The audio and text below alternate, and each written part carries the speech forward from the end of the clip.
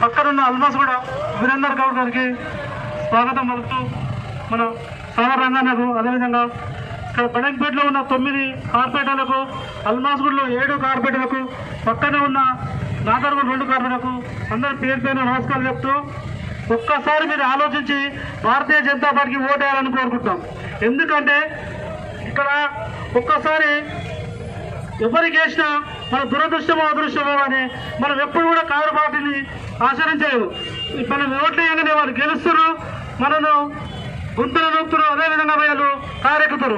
ఒక్కసారి మీరు అందరూ బడంపేట కార్పొరేషన్లో ఆలోచించి ఓటు వేయాలని కోరుతున్నారు.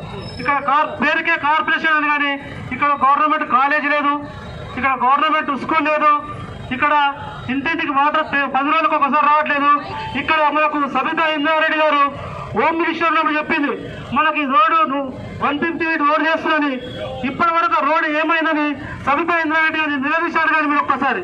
మొన్న తిరుమల తీసుకుపోతే మా ఆడపడుచులు వెంబడ పెడితే అక్కడి నుంచి వెళ్ళొచ్చిన సమీప ఇంద్రారెడ్డి గారు ఇక ఏం ముఖం పెట్టుకోను బడంపేట కార్పొరేషన్లో ఓట్లు అడగడానికి వస్తుందో ఒక్కసారి ఆలోచించేయాలని మీ అందరూ కోరుకుంటానమ్మా మేము ఎమ్మెల్యే ఎలక్షన్ అప్పుడు అడిగాం. అమ్మ నువ్వు గెలుస్తావు ఉండవు.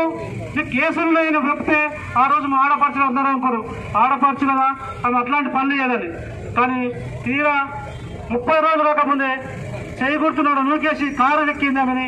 ఇప్పుడు కాంగ్రెస్ కేసినారని ఎవరికి వేసినా అది పోయి టీఆర్ఎస్ పార్టీకి అవుతుంది.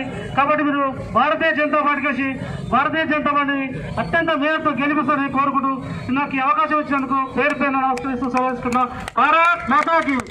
భారత్ మాతాకి. నరేంద్ర మోడీ గారి నాయకత్వం. లక్ష్మణ గారి నాయకత్వం.